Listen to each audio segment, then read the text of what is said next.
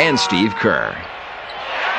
This is not pressure. This is fun. Pressure was last summer when I was looking for a job. You know. That's right. So last year he was forgotten in Orlando. This year he could play a very important role if the Bulls are to make it four straight.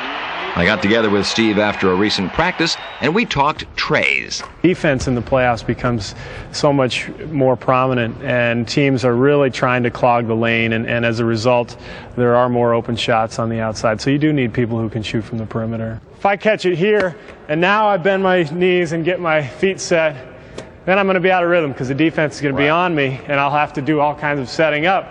Whereas if I get everything set and I catch, I can go right up with it and I'm ready. So Awesome. the, the preparation is really before you even get the ball is where it all starts. I, I shoot probably two to 300 shots a day in the off season. Really? But uh, like I said, I, I generally practice from about right here. To be a good three-point shooter, first of all, you have to be a really good shooter, period. And I practice from 15 to 17 feet. This is the toughest Toughest one right yeah, I think so because you got the line is a little different. You know, all of a sudden you get you get a point here. It's not a straight line. So you you know you, if your feet are like that, you may be squared perfectly to the basket, but your foot might be on the line. So to me, this is the toughest three-point shot. Let's see in if the you can game. make it. Oh, I know you can. Gee, thanks.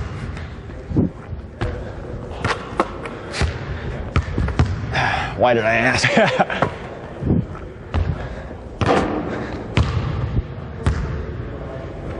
Whoa! Now see, you, you have to have a good passer too.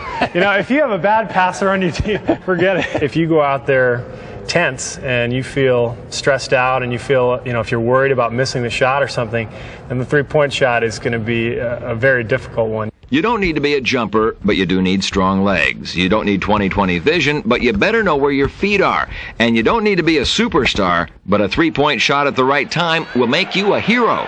And it just might make your team a champion.